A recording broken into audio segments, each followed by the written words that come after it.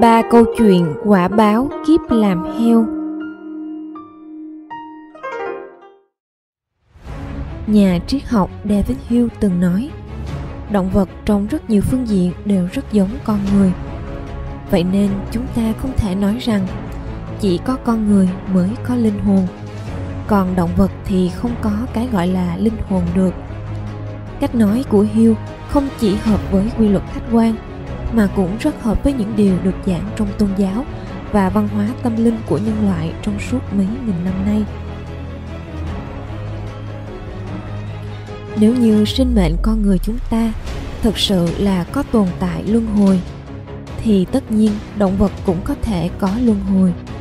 Vậy thì con người và động vật có luân hồi qua lại với nhau cũng là chuyện không có gì khó hiểu.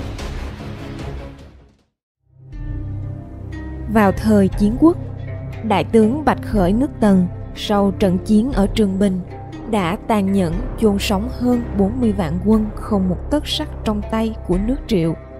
Vì thế, ông đã tạo nên nghiệp tội đời đời kiếp kiếp khó mà trả hết. Dân gian vẫn lưu truyền những câu chuyện rằng, mọi người khi giết mổ heo thường phát hiện sau khi nhổ bỏ lông heo rồi thì thấy trên lớp da thường có hai chữ bạch khởi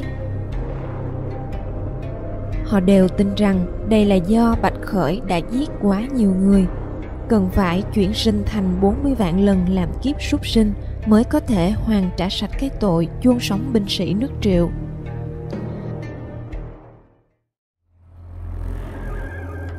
Vào những năm 20 ở Sơn Đông, có một tên cướp biển chuyên giết người cướp của.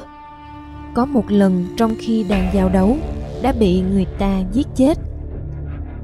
Sau khi linh hồn của anh ta rời khỏi thân xác thì chạy băng băng trên một cánh đồng trong đêm tối. Bởi vì trời tối nên anh ta không hề hay biết rằng cái thân xác thịt của mình đã chết rồi. Anh ta chẳng biết mình chạy đi đâu, trong khi phía sau có hai người mặt mũi dữ tợn đuổi theo. Khi hai người này đuổi kịp, liền khoác một bộ y phục màu đen lên mình anh ta. Anh ta giãy dụa thoát khỏi bộ y phục đó rồi thuộc mạng chạy tiếp. Cứ như thế chuyện này lặp lại hết lần này đến lần khác cho đến khi anh ta gặp được một ngôi nhà có ánh đèn. Anh ta nhanh chóng cởi bỏ y phục lao vào ngôi nhà.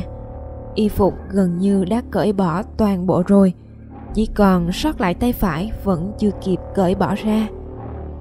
Ngay chính thời khắc này, có một tiếng khóc vọng ra. Sản phụ trong nhà này đã sinh hạ một đứa bé. Cả gia đình nhà ấy hết sức hoảng hốt khi tay phải của đứa bé lại là chân heo. Đứa bé này chính là tên cướp biển đó chuyển sinh. Thì ra tên cướp biển này giết người tạo ác nghiệp quá sâu nặng nên bị bắt phải chuyển sinh thành heo. Mặc cho người ta giết mổ để hoàn trả nợ nghiệp lúc còn sống.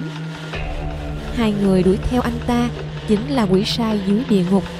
Họ đuổi theo để chụp lên người anh ta bộ da heo. Bởi vì anh ta đã đầu thai trực tiếp, vốn không tẩy sạch ký ức trong đầu, nên một đời này anh ta mang theo bàn tay phải có hình dạng móng chân heo cùng với ký ức đời trước. Cũng từ đó, anh ta đã đi khắp nơi cảnh báo mọi người về chuyện nhân quả bằng chính câu chuyện của mình, khuyên dặn người ta hãy nên tích đức, hành thiện.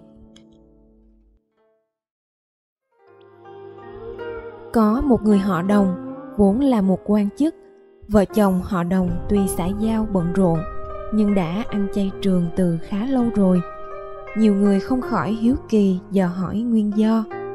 Bà đổng nói, đó là bởi người cậu của bà. Ông nói rằng bản thân ông có thể nhớ được chuyện của rất nhiều kiếp trước. Ông còn nói kiếp trước ông từng sống kiếp heo. Hơn nữa không chỉ là một kiếp, mà đã trải qua nhiều kiếp làm heo.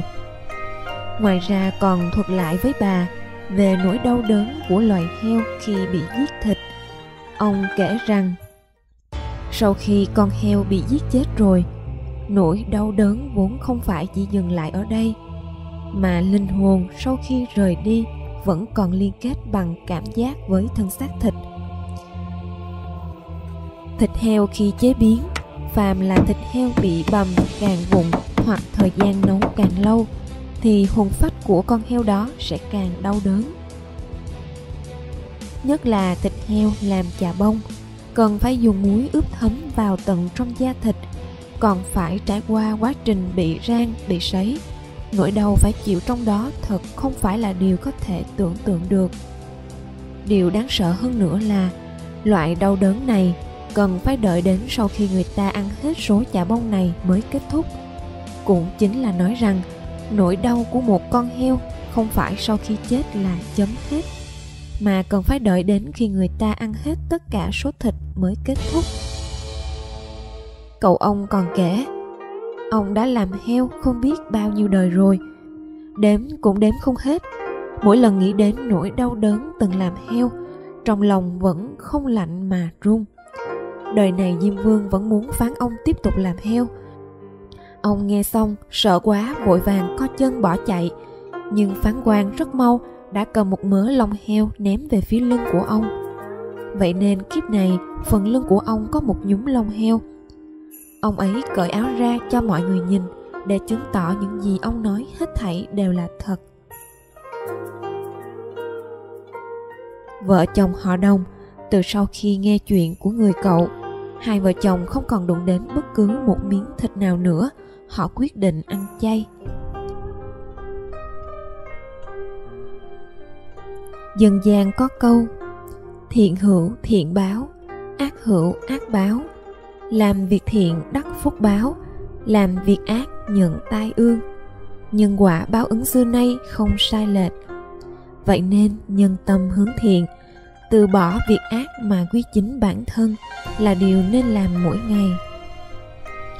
Lại ngẫm, nếu đúng quả thực có luân hồi, thì một kiếp nhân sinh như mộng thoáng duyên nối duyên, đời tiếp đời.